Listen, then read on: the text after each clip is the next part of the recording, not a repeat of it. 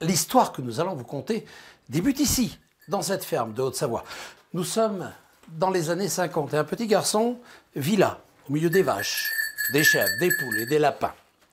Ses grands-parents lui transmettent leur amour, bien sûr, mais ils lui apprennent surtout leurs valeurs, le respect du travail bien fait et surtout, ils lui expliquent comment vivre en harmonie avec cette nature qui l'entoure et qui le nourrit. Et c'est fort de ses acquis qu'il devient un adulte qui petit à petit parvient à atteindre les étoiles. Bienvenue dans la Maison des Bois, bienvenue chez Marc Vera.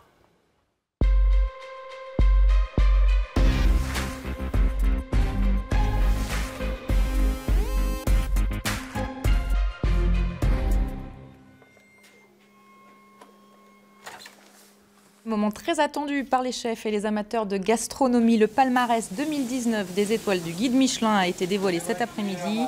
Mais en amont, mauvaise nouvelle pour certains, une étoile de moins. Le guide rouge a choisi par exemple de retirer sa troisième étoile à Marc Vera, distinction accordée l'an dernier à son restaurant La Maison des Bois à Manigot en Haute-Savoie. Un coup dur de plus pour celui qui a déjà subi incendie, accident et autres déroutes financières. Ça, monsieur ce chef hors norme, qui a déjà obtenu trois fois trois étoiles dans le Michelin et fait unique deux fois 20 sur 20 dans le Go Emilio, ne comprend pas cette décision du guide qui, semble-t-il, veut que souffle un vent de renouveau. L'homme au chapeau crie son incompréhension totale d'une destitution injuste, mais passé le choc, il revient à l'essentiel. Je pense que les étoiles, c'est nos clients. C'est nos clients. C'est bon, là, on est en place, là, les gars. Allez, hop pour comprendre la relation qui lie Marc Vera à ses clients et à son personnel, il faut remonter le temps jusqu'aux années 50. Donnez-moi une cuillère là, hop. Dans la ferme familiale qui se dresse sur le lieu même de l'actuelle maison des bois, le petit Marc assimile naturellement tout le savoir-faire des anciens. Nous, ici à l'Alpinge, on avait quatre lumières, hein. quatre ampoules. Il y en a une dans les tables, c'est pas compliqué. Une en cuisine, une au se couchait, puis une à la grange. Mais je peux vous garantir que vous apprenez à être écologiste bien avant l'heure. C'est tout un système. Ma vie est tout un système. Parce qu'il y avait toujours quelqu'un pour rabattre les oreilles si vous n'éteignez pas. Hein. Si la porte n'était pas fermée, la porte, vous la fermiez, je vous garantis, vous aviez intérêt à ce que ce soit éteint. Parce que c'était ou la sœur qui passait, ma sœur aînée, ma maman, mon papa, mes grands-parents, quelqu'un passait et nous rappelait à l'ordre. Mais tout ça est un système éducatif.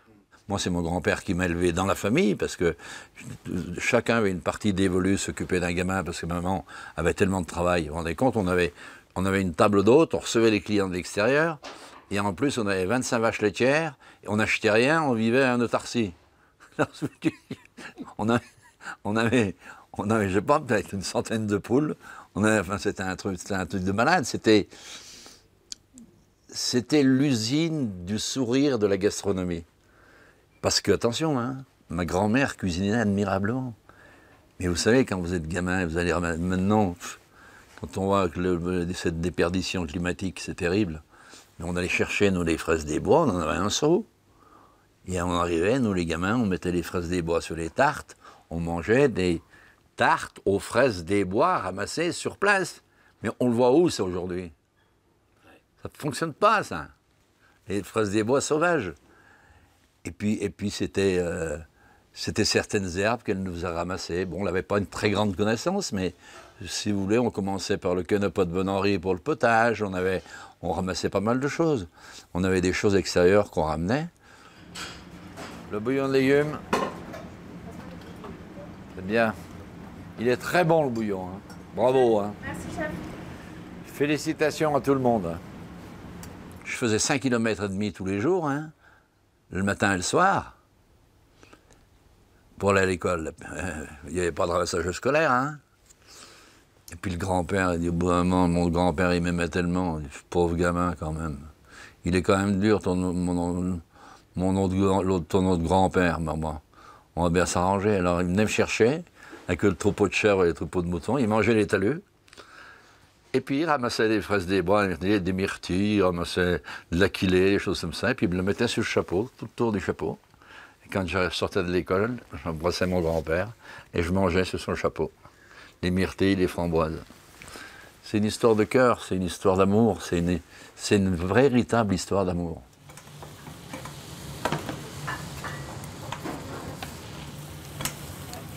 Qui est-ce qui a fait le jus là? Ça manque un peu de sucre.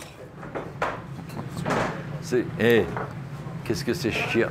Qu'est-ce que c'est chiant, un chef? Qu'est-ce que c'est chiant? Encore un petit peu plus. Chef, Parfait, chef. C'est bien. C'est les grands-parents chiants qui te disent éteins la lumière, machin. Ils étaient écolos avant nous. Ils nous ont appris l'éducation. Et c'est exactement ce que je leur transmets, jeunes. Faites-le pas. Pourquoi vous le faites aussi épais, là Transmettre, le mot est lâché. Faire perdurer aujourd'hui les valeurs d'hier. C'est dans cet esprit que Marc Vera ouvre à Manigo en 2013 sa maison des bois qui brûle entièrement en 2015 et qu'il reconstruit un an plus tard. Au rez-de-chaussée, il donne vie à la ferme, puis juste à côté, il crée un espace unique en son genre. Là, on, a- on met tous nos bocaux en place.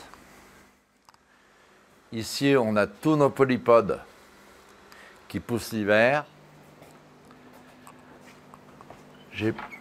Ça, je l'ai pris de mon père et de mes parents, parce que les, grands-parents, ils étaient écologistes avant nous. Ils n'allumaient pas le four à bois tous les jours. D'accord? Ils allumaient une fois par semaine. Et qu'est-ce qu'ils faisaient avec le pain pour le conserver? Ils le mettaient dans le son. C'est ce qu'on fait nous. C'est tous les légumes dans notre jardin, ça. Tu sais qu'on ramasse les choux en ce moment, extraordinairement, sous la neige. Choux blancs et choux rouges, je fais un potage avec. C'est explosif au niveau, du- au niveau des arômes. C'est sucré, mais ça n'a plus rien à voir avec le chou. Là, ici, j'ai mes écrevisses, mes ombres. Ici, on a le fromage. Avec tous les fromages de mes cousins, toute la région autour. Enfin, la région, c'est. Mes cousins, c'est 2 km autour. hein. Là, j'ai un truc extraordinaire. Monsieur Paul Bocuse, qui est mon ami, m'a dit conserve tes casseroles. Donc maintenant, on travaille sur induction. Mais là, j'ai arrêté, sur- arrêté il y a 20 ans. Mais c'est formidable, c'est une histoire d'amour, c'est une histoire de cœur. Est-ce que c'est pas un rêve de gamin? Si, c'est un rêve de gamin, mais surtout, vous savez, lorsque euh, les parents viennent me voir avec un jeune, en me disant, il veut être cuisinier, je dis, fais-moi voir tes yeux. Ouh, tu as des yeux qui pétillent de gourmandise. C'est formidable, mais tu vas réussir. Par contre, il y a une chose essentielle. Est-ce que tu aimes les autres? Est-ce que tu aimes faire plaisir aux autres? Si tu aimes les autres, si tu as les deux là, formidable. Tu vas être un grand cuisinier.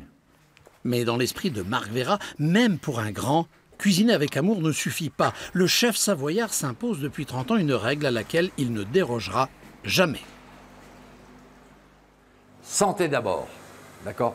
Pas de pesticides, pas d'insecticides, pas de saloperies. faut donner l'exemple, c'est ça la transmission.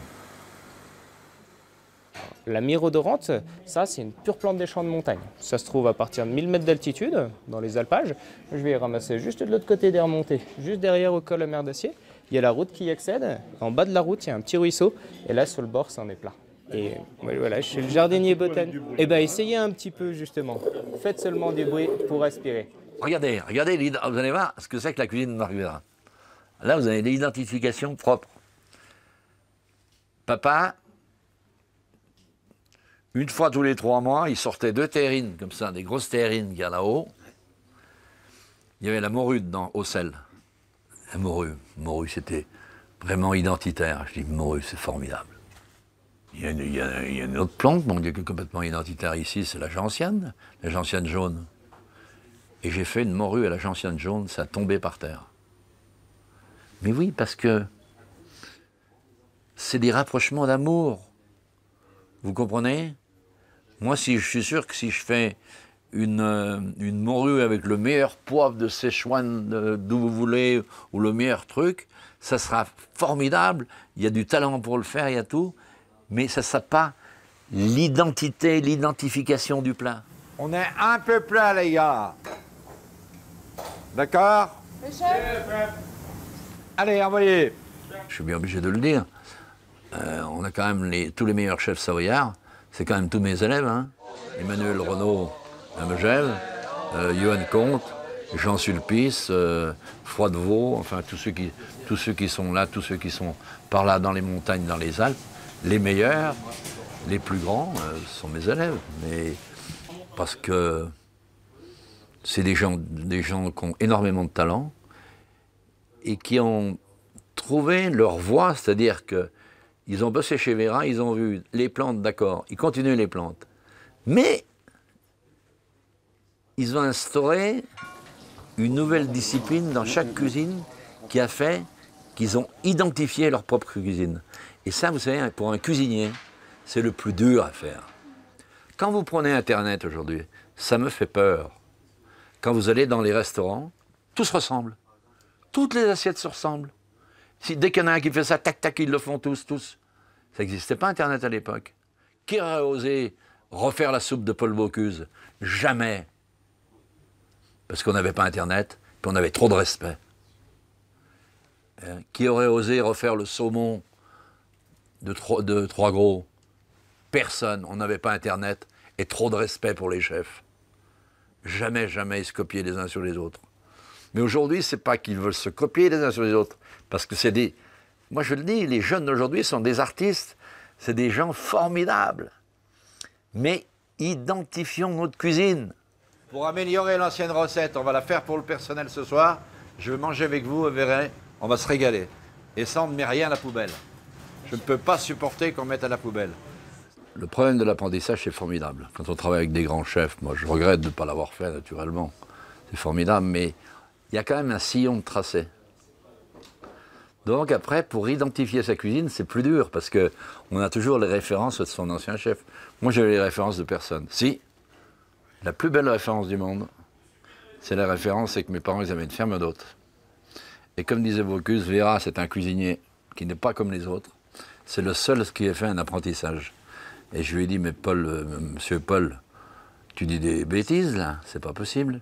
J'ai jamais travaillé. Si, tu as fait le plus bel apprentissage. Tu as fait l'apprentissage de la vie. Parce que tu étais fils de paysan. Tu savais traire les vaches, faire le boire au bouchon, tuer le cochon, ramasser les myrtilles, savoir faire les conserves. Tu te rends compte, tout ça? Mais quand on a un bagage comme ça, c'est le départ même de la cuisine. C'est le départ du terroir. Ton père, il avait un jardin de 2 hectares. Moi, je me souviens, on n'a jamais acheté un légume chez nous. On faisait les patates, les carottes, on faisait tout. On avait nos arbres fruitiers, on faisait notre cidre. Vous vous rendez compte? On faisait notre pain, on avait, on avait un four, on faisait notre pain. Donc j'avais toute cette identification primaire, prioritaire. Je l'ai eue jusqu'à l'âge de 18 ans, jusqu'à que je parte de chez mes parents. Je vous explique. Vous le mettez en bouche. Et là, Tout de suite. un bonbon ici qui va avec, qui est un bonbon de Reine des Prés que j'ai fabriqué pendant un an. Vous avez vu un peu? Ah, vous avez vu vos yeux? Vous n'en revenez pas, hein? Incroyable. Incroyable. Waouh. Ah, j'ai hâte d'essayer ça. Alors, on va prendre. un petit peu, ça, c'est incroyable.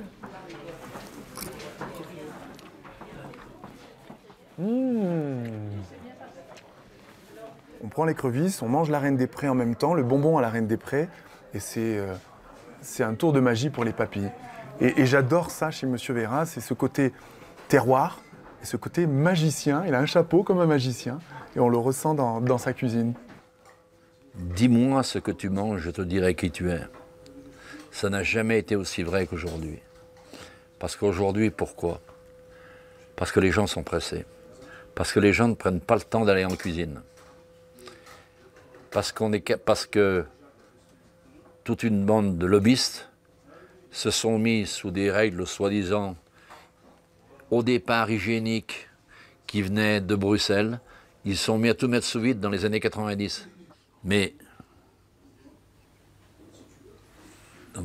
nos enfants ne vont pas se nourrir que, que de sous-vide ou de plats pré- préparés, préfabriqués, de sous-vide. Mais il suffit de réfléchir. Mais deux secondes. est-ce que c'est bon pour notre santé? Quand vous, avez, vous faites un pain de mie, vous faites un... Et, et vous trouvez dans des endroits, dans des grandes surfaces, des, grands sacs qui vous disent un mois de conservation. Enfin, je sais pas, moi. il- il- enfin, c'est pas la peine d'avoir été cuisinier. Vous prenez une pâte, même euh, vous faites le pain un peu chez vous. Vous conservez un mois le pain, vous? Vous comprenez? Y a, y a- y a- c'est que du bon sens. On met des additifs de partout. Pour la conservation, on met des additifs, des additifs qui sont dangereux pour la santé. Et moi, je continuerai à me battre pour les produits de proximité et les produits de saison. Le travail, le travail, le travail. Un travail bien exécuté, un travail bien fait. Il n'y a rien de plus beau. Quelle jouissance quand vous avez bien exécuté un plat. Mais vous vous rendez compte quelle jouissance Mais j'ai encore mes gamins là, j'en ai encore là en cuisine. Ils sont formidables, hein Écoutez les filles, c'est important pour votre savoir ça. Vous êtes là pour apprendre. Tu sens le sucre, tu vois Là tu sens le sucre au départ, et derrière tu sens le sel à nouveau. Donc en fait, c'est pour ça qu'en en cuisine, il ne faut pas faire de camouflage, il faut faire du bon travail. Je veux dire un truc qui risque de choquer pas mal de monde. Moi, je trouve que les jeunes sont très très bien. Vous savez, vous savez pourquoi ils sont très bien? Parce que nous, notre génération, la Terre, on l'a foutue en l'air, nous. C'est nous qui l'avons foutue en l'air. Et c'est eux qui vont la sauver. Vous verrez ce que je veux dire. Là, ils montrent des actions, les jeunes, formidables, pour lutter contre la, la- la hausse des eaux, pour lutter pour la planète. Ils ont pris conscience. Ils ne sont encore pas passés tout à fait à l'action. Mais ça y est, ils ont pris conscience que souvent ils mangeaient n'importe quoi. Et ce n'importe quoi, c'est ce que je leur dis, mes enfants. C'est spirituel. La nourriture, elle est spirituelle. Oui, elle est spirituelle. C'est pas la peine.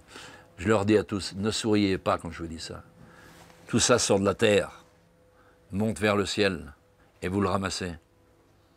C'est spirituel parce qu'en plus, c'est ce que vous mettez dans l'organisme, qui va, qui va faire en sorte de votre durée de vie, si vous mangez bien, si vous mangez mieux, si vous faites la cuisine. Puis en plus, c'est un aspect tableau social, je dis.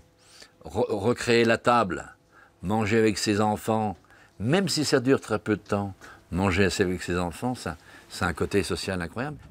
Je trouve que bien éduquer ses, ses enfants, c'est les protéger pour l'avenir. On dirait un petit poussin. Regardez comme il est beau.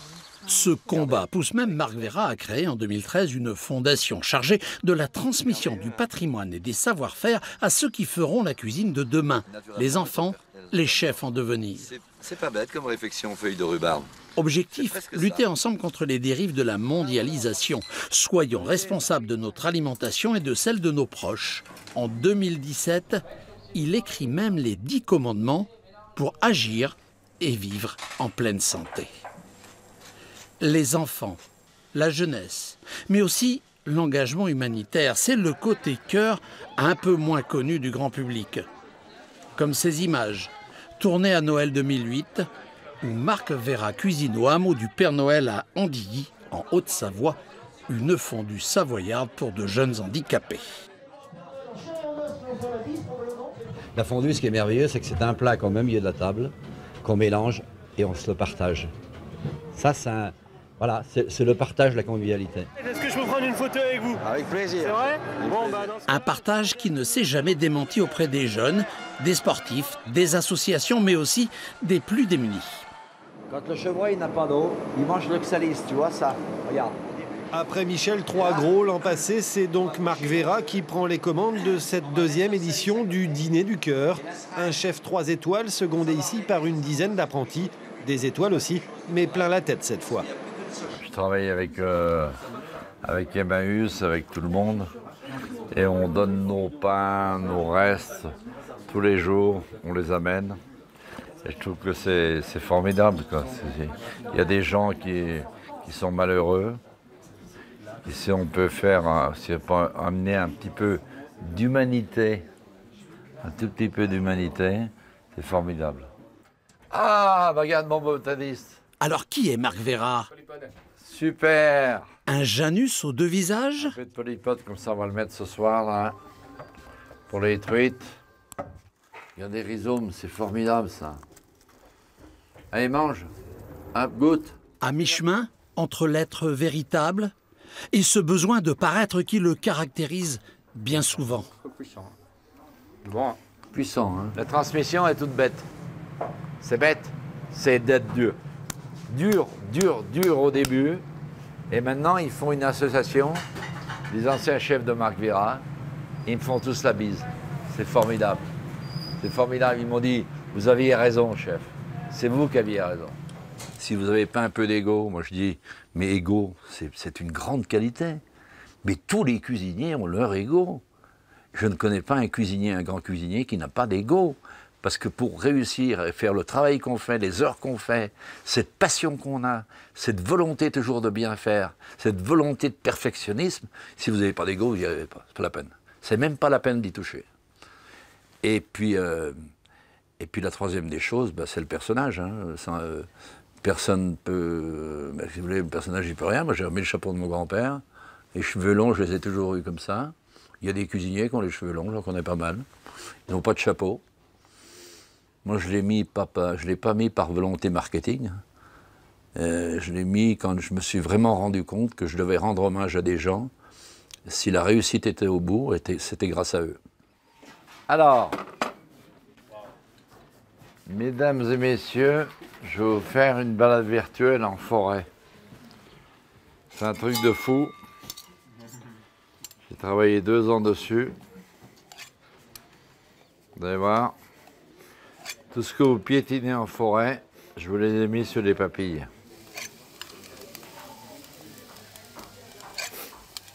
Vous allez voir, c'est assez, euh, c'est assez incroyable. Allez, on y va. Monsieur Divers. Oui. Vous ne- Alors, vous le gardez en la paume de votre main. Dans la paume de votre main, vous m'attendez, vous ne consommez pas. On y va Allez, un, deux, trois, en bouche. Et on ferme les yeux. On rentre dans la forêt, on marche sur l'humus, sur la terre de bruyère, sur la fougère, sur les pommes de pin. Et à l'instant où je vous parle, vous avez une chance inouïe, c'est que devant vous, il y a une dizaine de sapins. Vous prenez un panier, vous vous mettez à genoux et vous ramassez les cèpes et les girolles qui sont au pied du sapin. Pas mal, hein?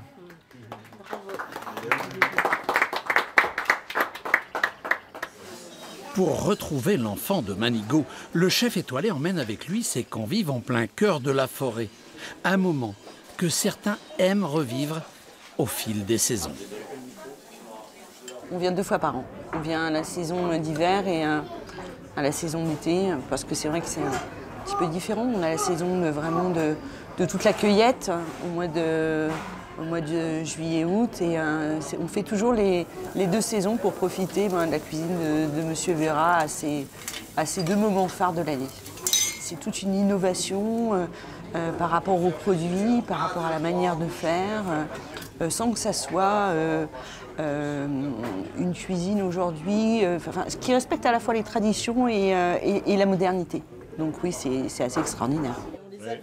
Vous, les- vous avez vu les poules, maintenant vous voyez les œufs. Oui. On a même vu les Et- œufs aussi. Et là, on les pique à la berce.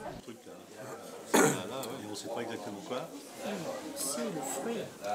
Là, je suis obligé de faire, de faire planer mon, mon super ego, mais euh, j'ai quelqu'un qui m'en veut terriblement sur un journal national qui a écrit quand même que j'étais l'instigateur de la cuisine de montagne et qu'avant mon passage, on n'entendait pas parler.